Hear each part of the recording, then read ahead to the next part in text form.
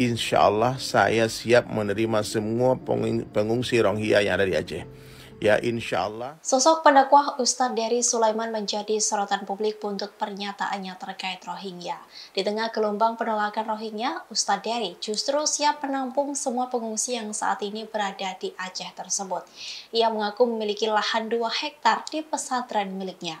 Pernyataan itu disampaikan oleh Ustadz Dery melalui unggahannya di TikTok pribadinya saat menjawab komentar seorang warganet, di mana warganet itu meminta para pengungsi Rohingya untuk ditampung di rumah sang Ustadz. Musisi yang juga pendakwah ini pun mengaku siap menampung pengungsi Rohingya jika pemerintah mengizinkan. Dalam video itu, ia menyampaikan kesediaannya untuk menampung para pengungsi Rohingya apabila pemerintah mengatakan secara terbuka tak sanggup. Ustadz Dery mengatakan para pengungsi Rohingya itu akan ditampung di pesantren pesantren yang ia bangun bersama temannya. Adapun pesantren tersebut berada di Tasikmalaya, yakni pesantren di DSAS. Di sana ada lahan 2 hektar yang siap menampung para pengungsi.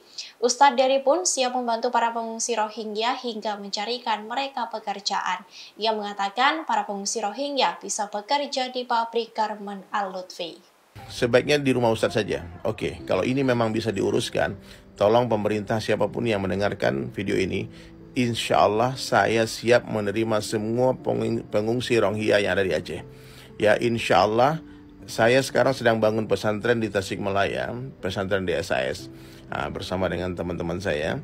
Uh, ada dua hektar tanahnya di sana. Insya Allah mereka bisa bekerja di sana, bisa mondok di sana, belajar di sana, dan juga ada pabrik garmen Alutfi di sana. Insya Allah saya akan carikan mereka pekerjaan di sana. Download Tribun X sekarang, menghadirkan lokal menjadi Indonesia.